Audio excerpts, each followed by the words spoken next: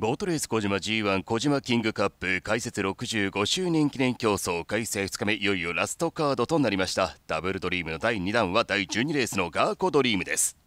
1号艇には茅原祐希2号艇には山崎智也3号艇には土映像4号艇白井英二5号艇菊池康平6号艇篠崎元氏以上6選手が対戦する12レースガーコドリームです。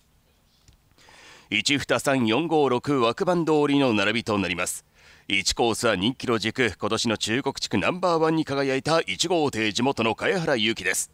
2コースこの小島過去53周年を制しています2号艇の山崎智也。センター3コース今年9月常滑周年のチャンプ3号艇の辻映像4コース4号艇白井英二は地元下関周年を初制覇しました。その外今年は2月地元浜名湖周年制した5号テロ菊池康平最アウト6コース今年は地元福岡の SG オールスターで輸出3着6号艇の篠崎元氏です。3対3の枠なり侵入現在スリット付近ホーム向かい風2メートル前後のコンディション。第12レースガーコドリームインコースから1番2番3番4番5番6番です。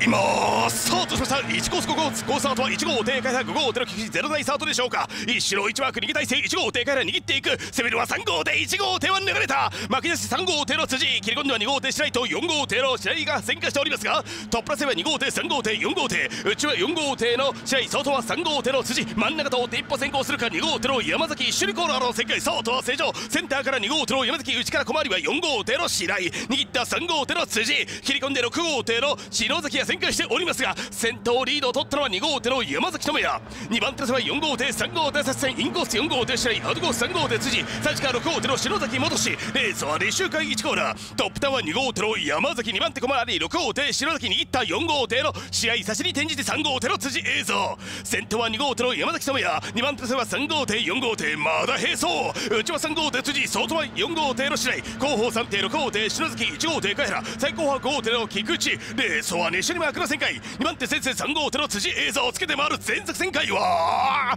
4号艇の試合に流れたくるくるっと6号艇の篠崎やってきますが後方5号艇にアクシデント発生となりました先頭は2号艇の山崎2番手は3号艇4号艇接戦です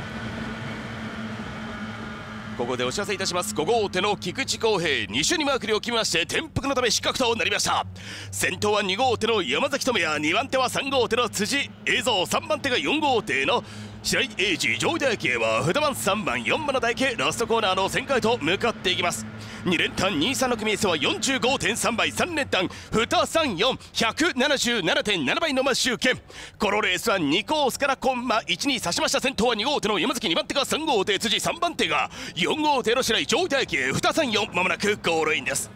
先頭2番の山崎ゴールイン。2着は3番辻3着4番白井ゴールイン6番の篠崎ラスト1番の茅原ゴール。インなおこのレース5号との菊池康平2周にマークに置きまして転覆のため失格となりました。以上小島第12レースガーコドリームでした。